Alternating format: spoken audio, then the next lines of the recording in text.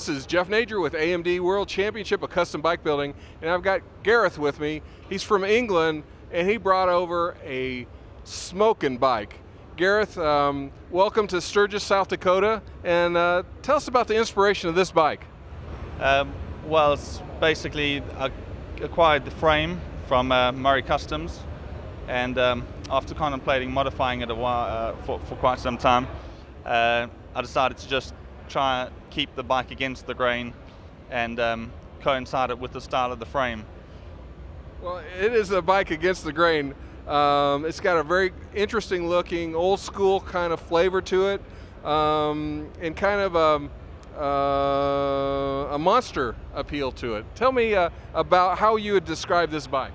I'd describe it exactly like you did, old school, old school in a sense. Um, but also new school. I know that's quite a quite a, um, a common phrase, but I think this has sort of done it in a big way, whereby you got the 70s sort of length front end and stance, but not used other bells and whistles normally uh, sort of seen on, on, on, a, on, a, retro chop. And I think it's perfectly uh, sort of met the, uh, the boundary between old school and new school, if you like.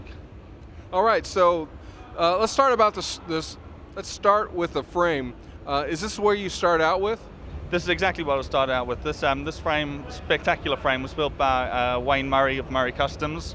Um, I did intend to modify the frame, but once I'd seen it as a rolling chassis, I sort of found I couldn't get myself to to to put a grinder to the frame. You know, um, it was supposed to be a lot lower, but looking at it, I just saw it with the front end and the wheels on it, and I just thought. Uh, it's, it's got to be left like that. And it was it was a brilliant project to um, to take off from there. So what's your frame geometry? the, the, the, the, rake you're looking at about, about a 42, 42 degree rake. Um, about three, three, three inches of ground clearance.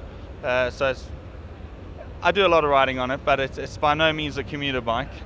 Um, uh, 18 inch over front end, and with the drop with the drop seats. Uh, as you can see, the uh, the tanks actually incorporated in the frame. I do see that. And um, what kind of mileage do you get on it? I tend to go from gas station to gas station, if you like. But so um, you're making friends. I am. I am. But um, I get uh, you know a lot of people say to me it's unrideable, um, doesn't look very functional. If it wasn't if, if it wasn't a rideable functional motorcycle, I, wouldn't I wouldn't have any interest in it. You know, it gets ridden a lot. Uh, probably a little bit too much over the last few months because picked picked up the odd uh, stone chip here and there. But hey, at least it's getting used, you know. I do. Uh, talk about the engine. What did you do with that? Uh, did you uh, do any updates to it? It's it's a great looking mill. Um, yeah, it's pretty much standard. Um, besides the uh, the carburetor and the ignition carburetor, well, that's an SU carburetor, which is normally used on cars. A lot of British cars. Uh, yeah, I had one. I had a couple on my MG. Yeah, yeah, that's right. Exactly the same thing. I had a little bit of a hard time getting it running correctly, thanks to. Um, I had the same problem with my MG. Uh, you get that a lot, yeah. thanks to Southern Carburetors, which I doubt you have over here to help you out with the MG, um, they rejetted it and tuned it, and it's running like a dream now.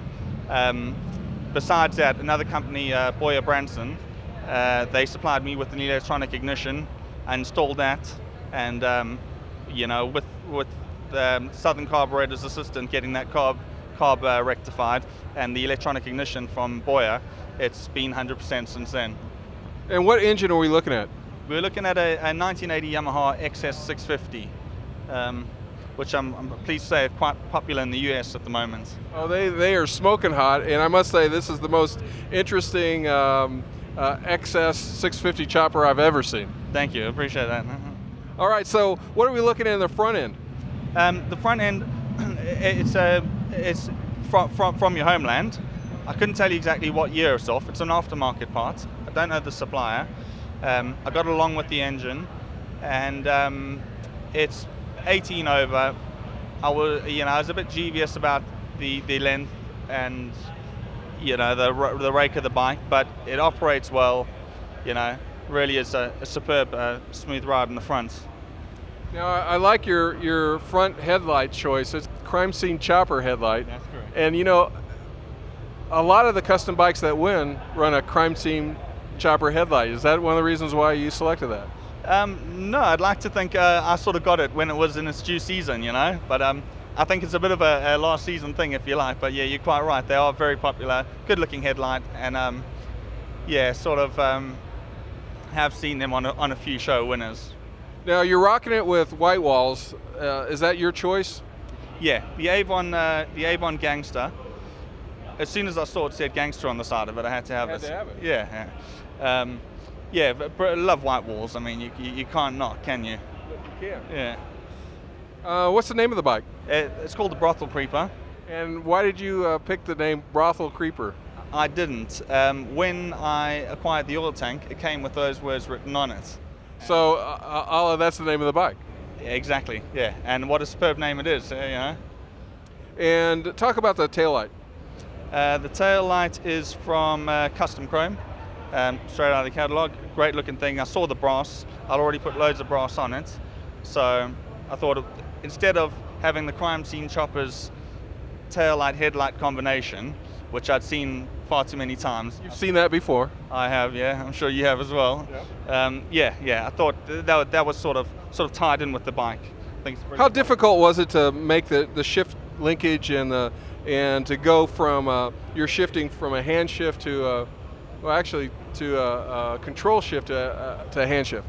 Uh, I normally prior to this bike, the previous my previous ride had a, a jockey shift whereby, as you know, the, the lever's mounted to, to the gear changer itself. Uh, so um, I sort of um, took steps towards the change, but once you've ridden around the block a few times, it's pretty much like driving a car, if you like. You know, um, you just you, you you're changing gears, clutch with your foot, selecting gears with your hands. Um, just got to remember not to put your left foot down, and you'll be all right. Yeah. Now, I understand in Europe that it's a lot more difficult to ride custom bikes in the street than here than here in the states. So uh, do you do you normally just speed away from the police, or uh, do you talk to them give them rides? No, as, as, as well as this uh, bike's running, I wouldn't get away from the police on it. Um, but they, for some reason, they're kind of forgiving with custom bikes. They don't like street fighters, don't like sports bikes. So I don't know why that is, but um, yeah, perhaps it's um, they don't see too many of them, you know. But they do like the brothel creeper. They well, they let me ride on the road up until now, you know. All right. Well, that's the 411 on the brothel creeper, and uh, we really appreciate you coming out and uh, showing us the bike. Good luck today, and good luck at the show. Thank you. Yeah, I appreciate you guys having me here. It's been uh, been fantastic.